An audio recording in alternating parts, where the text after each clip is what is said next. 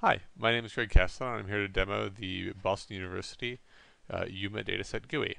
So what you see before you is the uh, GUI and a window displaying the data that we have captured, uh, specifically the two areas where we're provided with uh, a lot of video to search through.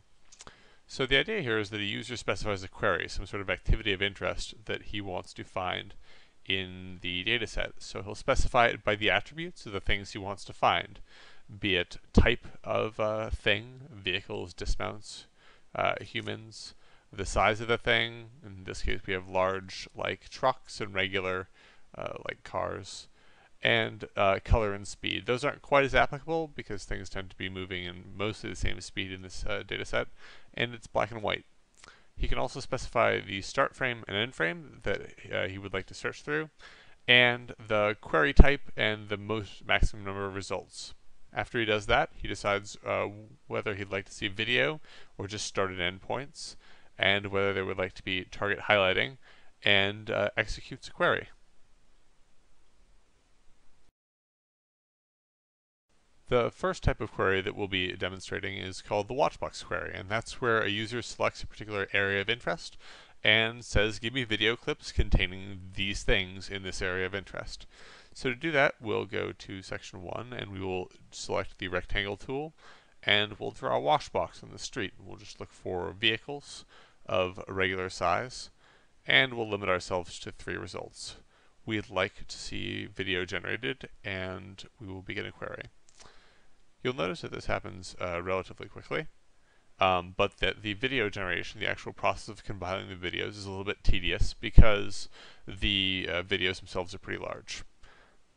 So to see the video, just click on the appropriate uh, query result. And what we should see here is a chunk of time where there are a lot of things happening here. And as you can see, there are a bunch of cars moving along. And hopefully towards the end of this video, you will see that there's, yep, nothing happening. So we've provided the user with a chunk of video that has the thing he wants in it. However, it's not always necessary to draw a watch box. For instance, if you are in section 1, section 2 in this case, and you're looking for human beings, then there are really only about two people, so it's not completely necessary to specify where they are.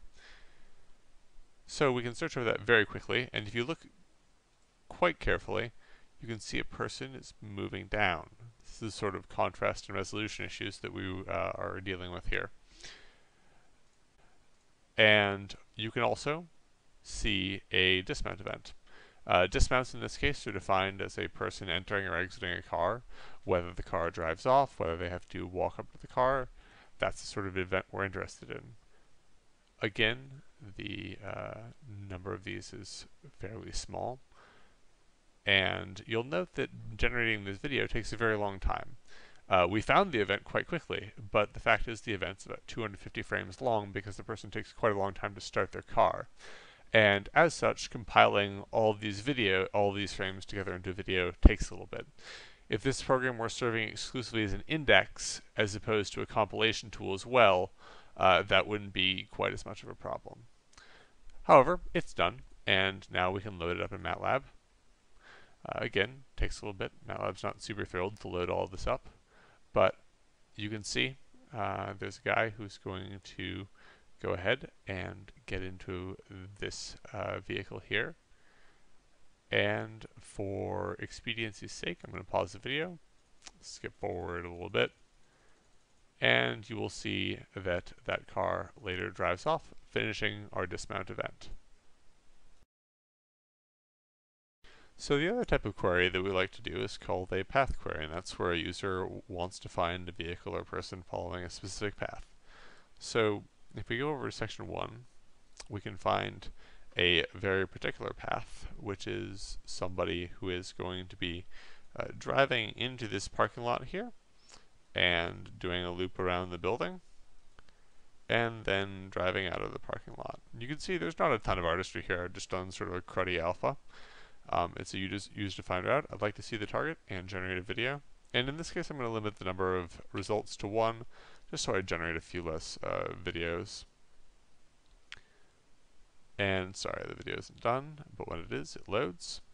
And you can see green is on when we're tracking it, and green is off when we have no idea or lose track.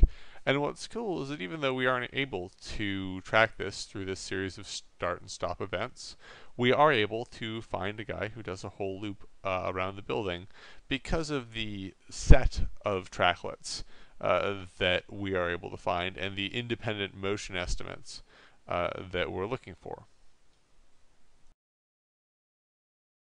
Finally, I'd like to show off a uh, combination of the above, which is attributes plus path queries. So we'll go back to section 2, and what we're going to do is draw a relatively common user-defined route, wherein somebody goes from here all the way down to here and takes a turn into this parking lot.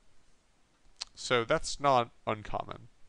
However, by saying we want a large vehicle, we're ideally limiting ourselves to some of the trucks uh, that are pulling in through there. And so, if again, we limit the number of returns we have so as to spare ourselves a video generation, we relatively quickly find a set of uh, turns.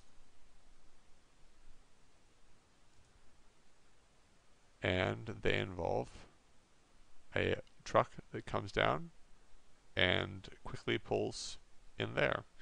Pretty much exactly like we'd searched for.